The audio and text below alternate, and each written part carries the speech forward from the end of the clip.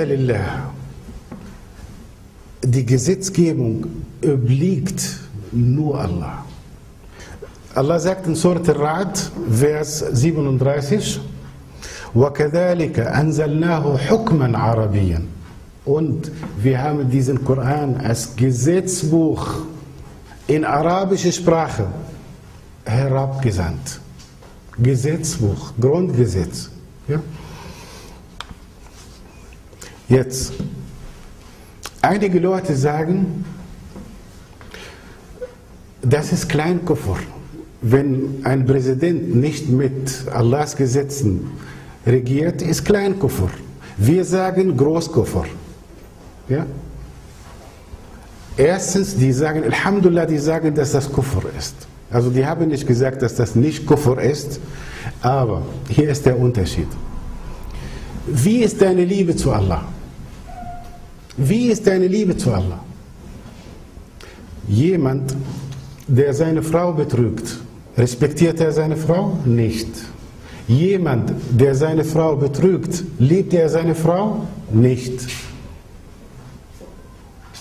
Ist er ehrlich zu seiner Frau? Nicht. Wo ist die Liebe zu Allah? Wenn du Allah liebst, dann liebst du seine Gesetze. Wenn du Allah liebst, dann liebst du, dass Allah der Herrscher ist. Und das ist abhängig von deiner Liebe zu Allah. Derjenige, der sagt, dass das Kleinkuffer ist, der weiß gar nicht, mit wem er zu tun hat. Allah hat Pharaon vernichtet, weil er gesagt hat, ich bin euer Rabb. Ana Rabbukum al-A'la. Allah hat ihn komplett vernichtet, weil die Gesetzgebung Allah obliegt. Und jetzt passt auf, was jetzt kommt. Das ist das ist Tawhid-Buch. Und dieses Buch ist von, von Muhammad ibn Abdul Wahhab.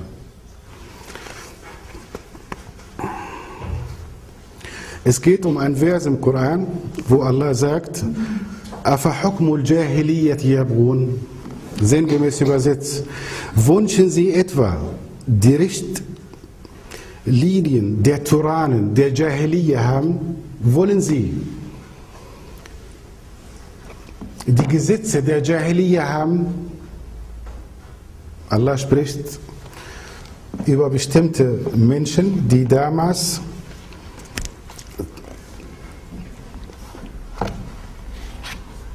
sich gestritten haben und anstatt zum Prophet Muhammad zu kommen, die sind zu einem Kafir hingegangen und sie wollten, dass dieser Kafir, einer von Quraysh, als Richter sein. Jetzt kommt Allahs Urteil. Allah sagt, أَفَحُكْمُ الْجَاهِلِيَّةِ يَبْغُونَ وَمَنْ أَحْسَنْ مِنَ اللَّهِ حُكْمًا wollen Sie, wünschen Sie die Jahiliya Zeit haben oder wollen Sie die Jahiliya, Jahiliya ist vor dem Islam, Urwaldgesetze praktizieren? Jetzt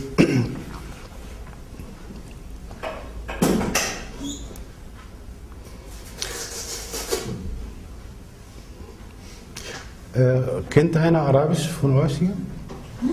Keiner kennt? Ein bisschen. Ich muss das lesen, weil das sehr, sehr wichtig und sehr gefährlich ist.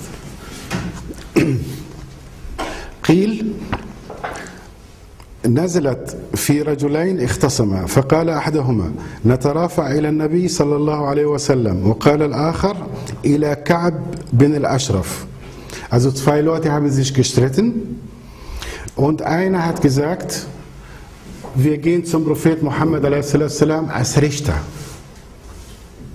Ja? Der andere hat gesagt, nein, wir gehen zu Ka'b ibn al-Ashraf. Ja? Und dann, diese zwei, die sich gestritten haben, die sind zu Umar ibn al-Khattab gekommen. فذكر له أحدهما القصة und einer von den beiden, die sich gestritten haben, hat Umar ibn al-Khattab erzählt, was sie machen wollten, dass sie zu einem Kafir hingehen und dass er zwischen beiden richten soll. Ja? فقال للذي لم يرضى برسول الله صلى الله عليه وسلم أكذلك dann fragte Omar fragte denjenigen der nicht zum Prophet kommen wollte dass der Prophet zwischen beiden richtet stimmt das er sagte ja wolltest du zu einem Kafir hingehen damit er zwischen euch richtet dann sagte er ja فضربه بالسيف فقتله was machte Umar ibn Khattab? Der hat ihn geköpft. Geköpft, weil er nicht zum Prophet gekommen ist, zu Allahs Scharia gekommen ist und er wollte bei einem anderen, bei einem Kafir, ein Urteil haben. Guck mal, wie gefährlich das ist Wie gefährlich die Vernachlässigung der Scharia ist. Weil viele Leute kritisieren uns und sagen, ihr sagt, die sind Kuffar. Erstmal Allah sagt, die sind Kuffar. Allah sagt im Koran, وَمَنْ لَمْ يَحْكُمْ بِمَا أَنزَلَ اللَّهِ فَأُولَٰئِكَ هُمُ الْكَافِرُونَ Jetzt, wenn du sagst, die sind Kuffar, dann werden die Menschen abgeschreckt. Aber wir erklären das. Wir erklären das ganz Schritt für Schritt, damit die Menschen sich vor dieser großen Gefahr retten. Denn Allah sagt im Koran, und die meisten, die meisten glauben nicht ohne Allah beizugesellen. Und damit sind die Muslime gemeint. Und jetzt lasst uns einfach klare Worte reden. Wer von euch weiß, was Haram und was Halal ist? Wer von euch weiß, was die Scharia ist? Aber das Grundgesetz in Deutschland kennen wir auswendig. Aber Allah wird uns fragen am jüngsten Tag. Allah wird uns danach fragen, wer ist schuld daran jetzt? Also ich bin mit 18 nach Deutschland gekommen, ich wusste gar nicht, was Haram und was Halal ist. Ich wusste gar nicht, was Scharia ist. Wer ist schuld dran? Wer ist schuld dran? Das sind die Menschen, die uns von Allahs Religion abgehalten haben. Die Zeichen, dass ein Mensch Allah liebt, sind erstens, dass du Allah dankbar bist, dass du gegenüber Allah dankbar bist, dass Allah dich erschaffen hat, dass Allah dich versorgt, dass Allah dir die Gesundheit gibt und dass Allah dich als Muslim erschaffen hat. Das ist, das ist Nummer eins. Nummer zwei, dass du Allahs Befehle und Gebote liebst und nicht diskutierst. Ist Kopftuch im Koran? Steht es im Koran oder steht es nicht? Allah liebt keine streitsüchtigen Menschen. Allah liebt die Menschen, die Muslime, die sagen, wir hören und wir gehorchen. Es gibt Menschen, die versuchen, Allah auszutricksen. Wallahi, Muslime versuchen, Allah auszutricksen.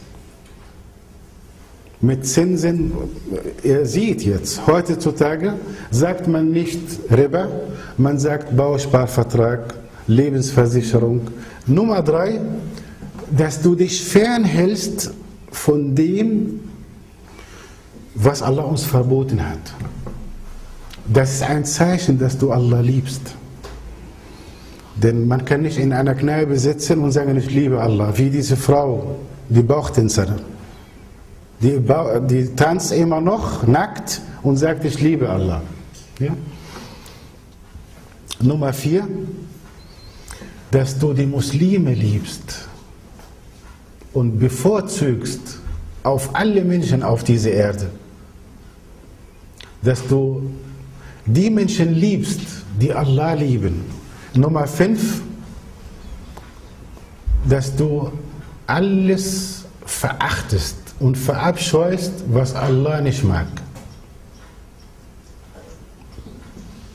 Nummer sechs, dass deine Loyalität, Loyalität bedeutet Liebe und Zugehörigkeit dem Islam und den Muslimen gibst. Das ist ein Zeichen, dass du Allah liebst. Denn wie kannst du Allah lieben und du hast die Muslime? Wie kannst du Allah lieben und mit den Kuffar zusammenarbeiten gegen den Muslimen? Das geht nicht. Sieben, dass du die Begegnung mit Allah liebst. Wer Allah liebt, liebt die Begegnung mit Allah und hat Sehnsucht jede Sekunde nach Allah.